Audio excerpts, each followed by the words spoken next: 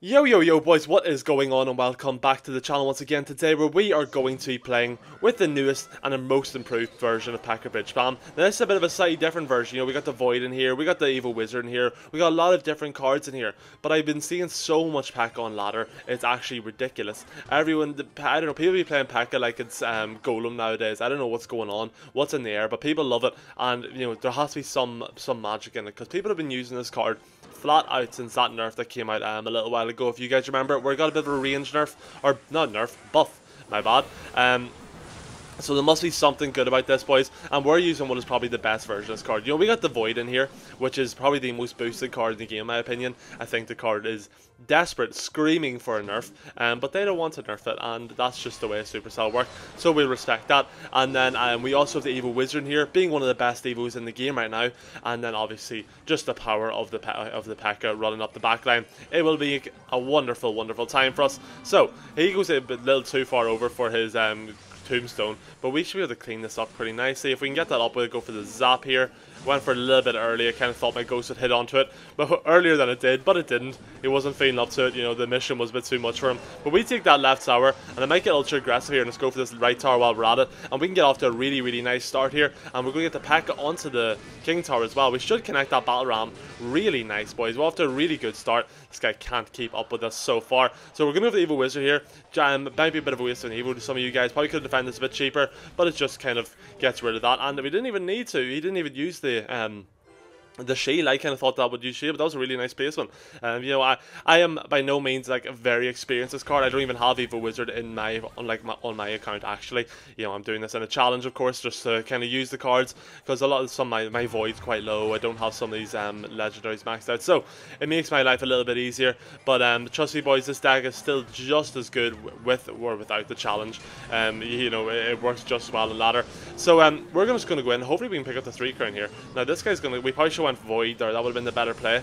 Um, would have definitely been smarter. But we can just push in with the Battle Ram here in front of the minions. We have pretty, pretty big attack here going to the right side. Even if he goes mini P.E.K.K.A, he can't defend it.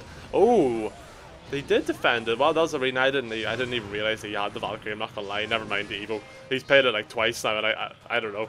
Um, but we'll just we just push it up. We'll go for the mini or the not the mini P.E.K.K.A, the the big P.E.K.K.A here, big Mama P.E.K.K.A off the um, left side. We'll go for the void here onto the hog. Get that out of the way uh, no damage taken, and that's going to be quite nice. We're going to take that left tower while we're at it, just for the fun of it, and that will be it for game number one, boys. I hope maybe we can get this three crown here at the very end. I doubt it, but maybe. Um, no, we're not going to, so we'll hop straight into game number two. And yes, guys, we are back for game number two.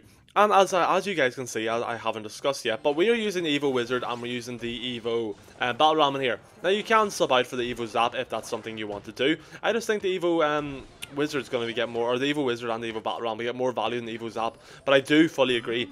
Evil Zap is a very, very strong Evil. So if that's one of the ones you have instead of the other two, um, I will use it all you want.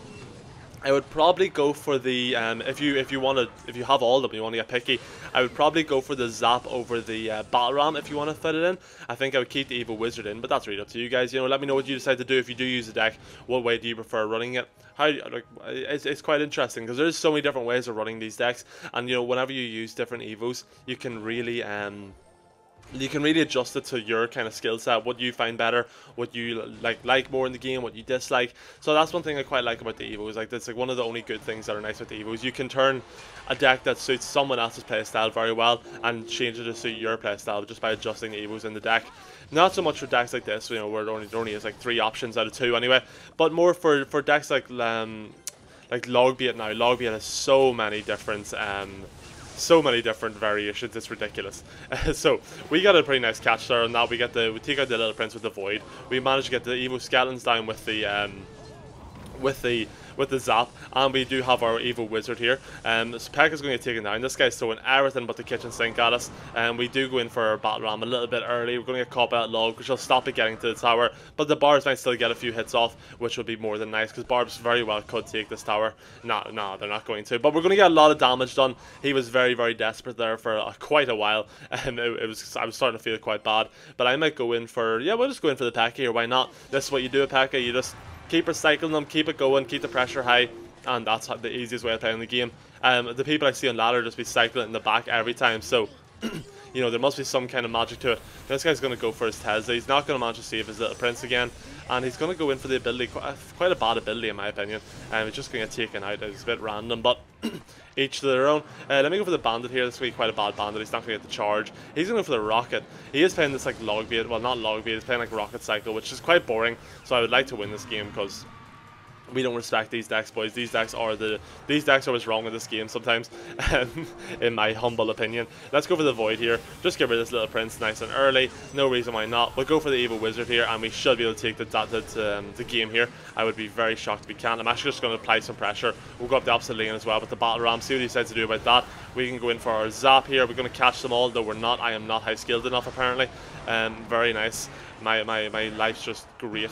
Um, so we'll go for the back here in the centre. Hopefully it doesn't go left. Go left, go left. Nice, okay. I was worried he was going to go for the right there. Now I'm expecting this guy to go for a rocket here. Maybe not though, he might not. Um, we'll see. He's going to go in. He's going to manage to save his little prince, so good, good for you. And we will go in for our wizard here behind, just to make my life a little bit easier. And we'll keep up the pressure, because this guy is going to... He's defending quite well, to be fair. He's just kind of throwing everything at us, but it's going quite well for him, so we can't complain with that. Now, I'm actually just going to push up this right lane. If he's going to go in for all his first Tesla that far over, we can probably punish this a little bit, and we need to try and punish it because that's going to be a bit of a misplay of him. Now, we're going to go for the P.E.K.K.A here in the centre. Um, he's going for his little prince up the right side. We don't even need to void that. We can leave it.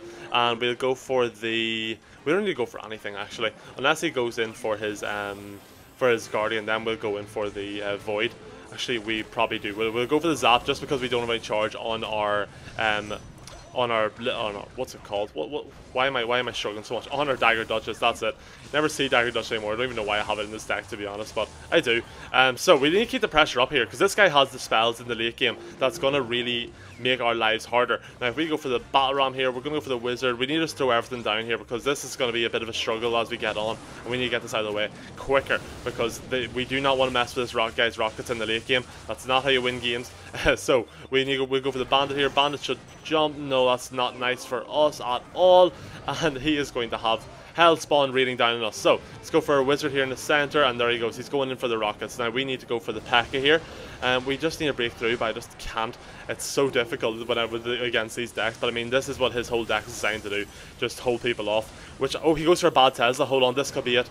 We just need to keep the pressure high. Bandit's on the tower. Bandit takes one, two, and three, and four. That's very nice, boys. And yes, boys, quite a nice win there in game number two after pretty pretty meta deck to be fair. Um, you know, that deck, well, it's not, it's not as rampant as it was now, but last season, oh my, the amount of times I played that deck, I never want to see it again. so it's nice to beat it um, and show that this deck can still compete with decks like that. Um, the probably I probably could have played that better. Probably could have been a bit more proactive with my um, Julian pressure, as well as just going for the yeah, so I was just going for my pack because I probably need to cycle my pack in the back a bit more, make up a bigger attack. I was just worried about leaving myself open to a princess. So there's a lot of issues I could have had in that game. Um, I had in that game. I probably could have improved on, made the game a little bit easier for myself. But we, at the end of the day, we still got the win. That's what really matters. So hopefully we can keep it out going, keep this keep this fast going to game number three, and pick up another win. Be nice to finish today three and zero. Oh. So hopefully we can do that for you boys. Um, so my wizard is going to take out that dart goblin, which is quite nice. And I don't really think I really need to defend this. I take a little bit of damage, maybe like two or three but nothing too much, um, so I'm not too worried. Okay, cool. We take 104 damage, I think, or whatever. I don't know, comparing to the other side, but I think it's more than that. I'm pretty sure that that right tower has been touched. Um, but waffle aside, so this guy's going to go for his fireball. Quite an aggressive fireball. 7 elixir spent out of him right there. So we can probably get something going here. Honestly, we might just go band at the right lane and try and force some more elixir out of him, and then we pack at the left. Yeah, we can pack into this. Um, it'd be quite a cheap packer for us, considering he's just had to spend a lot of elixir, seven and five, and all I spent was six. So, what, what's that? What's what's he spent like 13 or something. I spent six, so I'm up to uh, quite a quite an advantage here. Now we'll go for our um, evil wizard here in case he goes for his phoenix, and then we also have our void in hand. Okay, no, he's got a lot more elixir than I thought he did, but we can we should clean that up quite easily, I think. Uh, we'll go for the evil wizard here, and is that? Oh my god! Oh, I went for the void and I missed because of my evil wizard's ability. That's so funny. why why have I done this?